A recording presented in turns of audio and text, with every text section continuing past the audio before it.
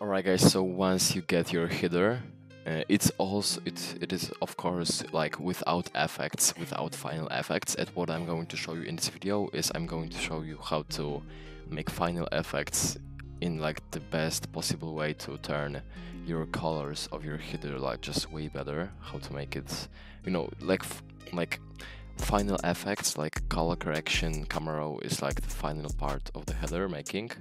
So I'm going to show you how to make it in the best way. So first of all, if you have your header, just uh, click Ctrl Shift and A. So you go to camera.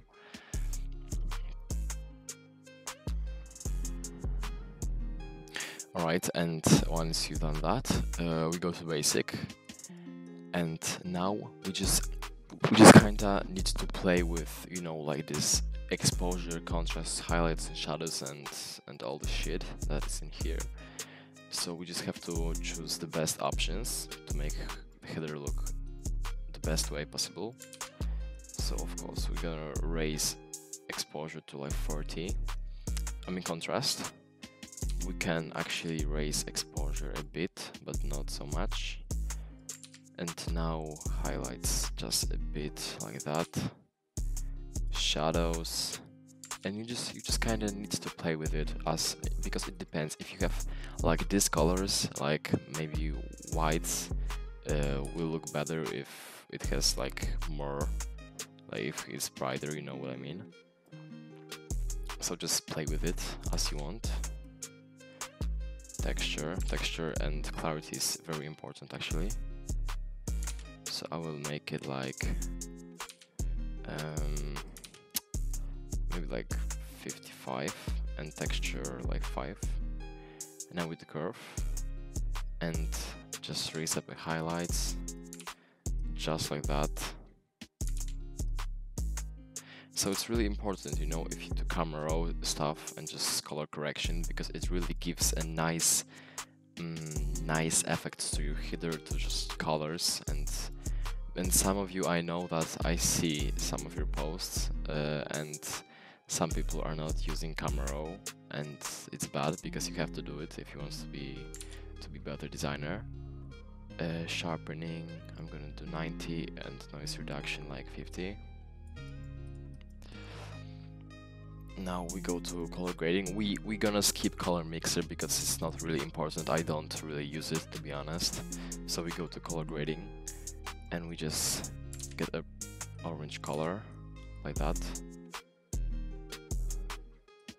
and just play with it as you see. Alright it's nice. We are not going to do it here because then like there will be too much colors and you have you know you have to you have to have the balance of your of your colors on your header uh, Alright, and now we can just raise it a bit, just like that, and don't, don't change color. Alright, now we go to effects, we skip optics in geometry, uh, and we can do the vignetting a bit more like that to give a nice effect to the header. Alright, perfect. Now we raise up a tint, I always do that, and now we can just play with these colors, as you can see. Just like that. So you make it like like that like nice orange colors. Play with this one also. Of course you you can't have too much colors like too much contrast you know you have to balance it to make it look the best. We're gonna do it like that and like that. All right i think we are done with camera you can see how it changes. You see, right? Like this one is much better than this one, you can see. Alright, and now we click Ctrl and J. We go to filter, blur and Gaussian blur. And uh, we make Gaussian blur like like 50. And we get lighter color. we're gonna make it like 50 opacity. And you can see it's way better now. Alright, now we group it. Click Ctrl Shift Alt and E to make a layer.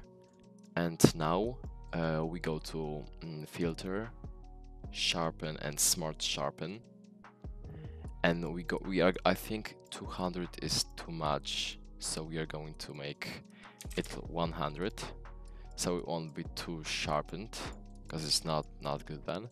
And we're gonna click OK. You can just copy my settings alright and the quality looks automatically way better. And the last part we are going to go to filter noise and add noise. And we are going to add 10 of noise or maybe like maybe like 6 I think. Alright it's nice. Uh, alright mm, and I will also show you my uh, saving settings. So yeah so you will just you know how to save uh, save in good quality. So go to uh, file export and save for web. And you can just copy my settings. That's how I that's how I save it. Uh, and yeah uh, after it's converted you just click save and you know you, you just save it you know.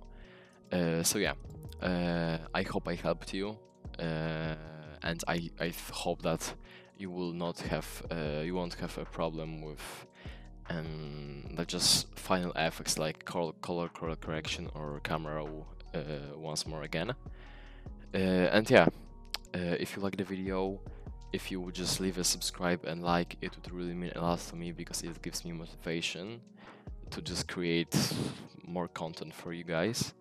Uh, and yeah, I would really appreciate that. So yeah, I see you in the next video.